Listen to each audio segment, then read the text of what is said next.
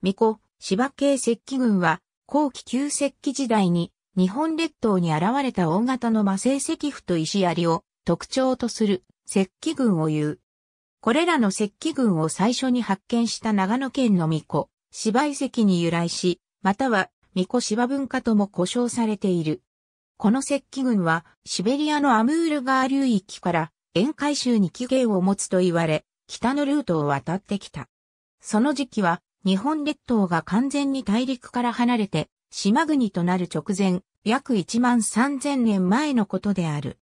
この石器群の内容は、大型で丸のみの形をした型派の魔性石符と、大型で木の歯型をした槍先形戦闘機、さらに、石人を素材とするスクレーパーと彫刻統計、石器であり、その他に、食人、断面が三角形の水、半月形の石器、有形戦闘機、矢柄剣巻、石族などを伴う。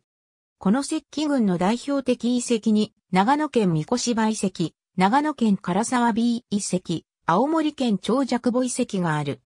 この石器群で土器が見つかっていない場合と青森県、太平山本愛遺跡、神奈川県上野遺跡第一地点、第二文化層、茨城県小屋遺跡 A 地区のように、無門土器を伴う場合とがある。